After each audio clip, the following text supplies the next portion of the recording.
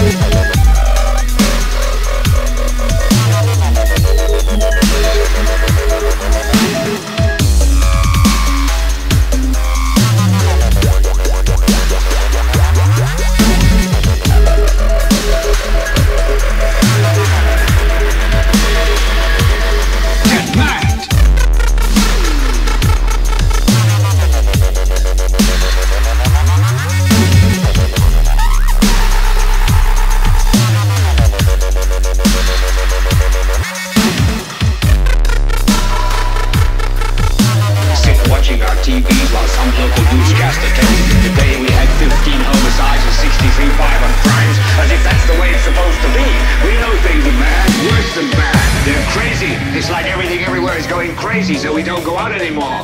We sit in the house, and slowly the world we're living in is getting smaller, and all we say is, please, at least leave us alone in our living rooms. Let me have my toaster and my TV and my steel-belted radials, and I won't say anything. Just leave us alone. Well, I've not done anything.